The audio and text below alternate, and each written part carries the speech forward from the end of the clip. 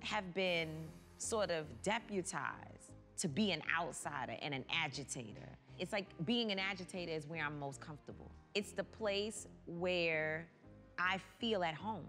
It's where my mind functions, where I think, where I'm creative.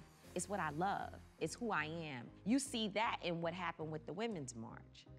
Five million people, women and our family, allies, children, these are people who had never been involved in the movement before.